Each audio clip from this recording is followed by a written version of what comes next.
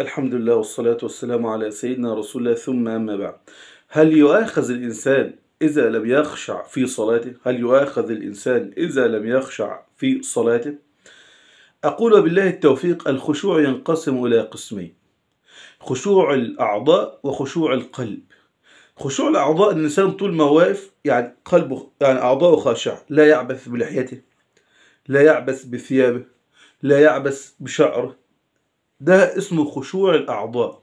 أما خشوع القلب أن يعيش الإنسان وهو في صلاته لا ينشغل إلا بربه عز وجل لا يفكر لا في أمر الدنيا ولا في أي شيء يشغله عن ربه عز وجل. ده اسمه الخشوع بالقلب.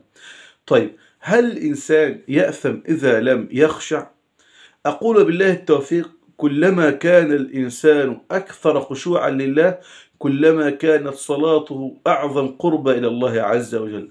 قال الله في صدر سورة المؤمنين قد أفلح المؤمنون. من هم يا رب المؤمنون الذين أفلحوا؟ أول حاجة من صفاتهم الذين هم في صلاتهم خاشعون. قلت الخشوع خشوع أعضاء وخشوع قلب.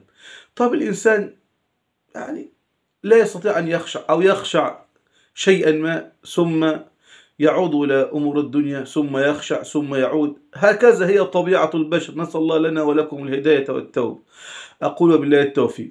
كلما جاهد الإنسان نفسه في ألا ينشغل بأمر الدنيا وكلما شغل الإنسان رب نفسه بربه في صلاته كلما كان الأجر أعظم. لكن حتى وإن اختلس الشيطان من صلاته وذكره بالدنيا فهو بإذن الله لا يأثم. بإذن الله لا يأثم. ولكن قال النبي صلى الله عليه وسلم رب قائم ليس, ليس له من من صلاته إلا عشرها أو إلا تسعها أو إلا ثمونها أو إلا خمسها. ليه؟ كل ما الخشوع يزيد كل ما ثواب الصلاة يزيد. وكل ما الخشوع يقل كل ما ثواب الصلاة يقل. لكن الإنسان يأسم بإذن الله لا يأسم بإذن الله لا يأسم لكن يجاهد نفسه في أن يخشع لله عز وجل لأنه سيقف يوم القيامة في محكمة أحكم الحاكمين. قال الله عز وجل عن هذه المحكمة اسمع اليوم تجزى كل نفس بما كسبت. اسمع لا ظلم اليوم.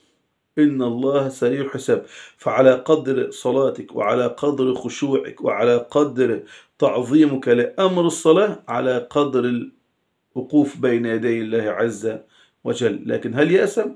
هو بإذن الله لا يأسم لكن يجاهد نفسه يجاهد نفسه في الخشوع. تقبل الله منا منكم صالح الأعمال إنه ولي ذلك والقادر عليه.